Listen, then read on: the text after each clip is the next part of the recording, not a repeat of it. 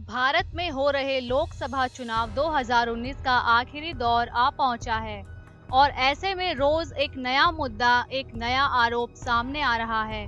पहले ईवीएम की जाँच का मुद्दा और अब ईवीएम और वीवीपैट का देश भर में आवाजाही का मुद्दा, जिस पर राष्ट्रीय जनता दल आरजेडी की नेता व लालू यादव की पत्नी राबड़ी देवी ने अपने आधिकारिक ट्विटर अकाउंट पर चुनाव आयोग के लिए कई बड़े सवाल उठाए हैं। और साथ ही उन्होंने तेजस्वी यादव और बेटी रोहिणी के वोटिंग लिस्ट में नाम ना होने की बात को लेकर भी सवाल उठाया है।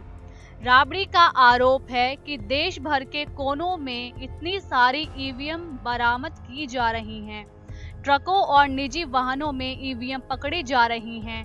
आखिर इतनी सारी ईवीएम मशीनें आ कहाँ से रही हैं और कहाँ जा रही हैं? आखिर कौन है जो इन्हें ले जा रहा है और क्यों ले जा रहा है? आखिर ये चुनाव आयोग के लिए बहुत बड़ा सवाल है। राबड़ी देवी ने अपने ट्विटर अकाउंट पर इन सभी मुद्दों को लेकर अपने सवालों को पोस्ट किया है। राबड़ी अपने पहले ट्वीट में लिखती हैं कि देश भर के स्ट्रॉन्ग रूम्स के आसपास ईवीएम की बरामदगी हो रही है। ट्रकों और निजी वाहनों में ईवीएम पकड़ी जा रही है। ये कहाँ से आ रही है और कहाँ जा रही हैं? कब, क्यों, कौन और किस लिए इन्हें ले जा रहा है? क्या यह पूर्व निर्धारित प्रक्रिया का हिस्सा है? चुनाव आयोग को अतिशीघ्र स्पष्ट कर देना चाहिए। इसी के साथ राबड़ी अपने दूसरे ट्वीट में लिखती हैं कि सीबीआई और ईडी की तरह चुनाव आयोग ने भाजपा से पहले गठबंधन किया। अब उसमें विलय कर बेशर्मी से काम कर रहा है। वोटिंग के दिन तेजस्वी यादव को फर्जी तरीके से फंसाने और बदनाम करने के लिए उसकी जगह किसी और का फ़ोटो लगा दिया गया, ताकि बेवजह विवाद उत्पन्न कर नकारात्मकता व विघ्न पैदा किया जाए। और अपने तीसरे ट्वीट में राबड़ी लिखती हैं कि नेता प्रतिपक्ष तेजस्वी यादव के साथ चुनाव आयोग का एक ऐसा सलूक दुर्भाग्यपूर्ण है। सोचिए आम मतदाता के साथ कैसा होगा।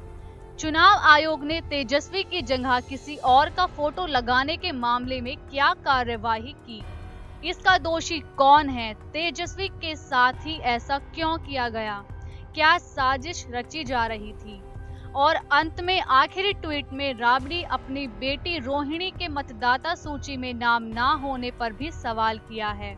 उन्होंने लिखा, मेरी बेटी रोहिणी मतदान से एक दिन पहले सिंगापुर से चलकर पटना आई, लेकिन मतदाता सूची से उसका नाम गायब था। भाजपा के कार्यकर्ता सह चुनाव आयोग अधिकारी बताएँ कि उसका नाम सूची से क्यों और किस लिए काटा गया।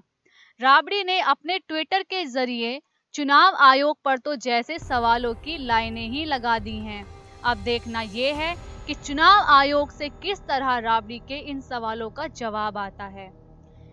नेक्स्ट नाइन एसपीएन से पूजा की रिपोर्ट।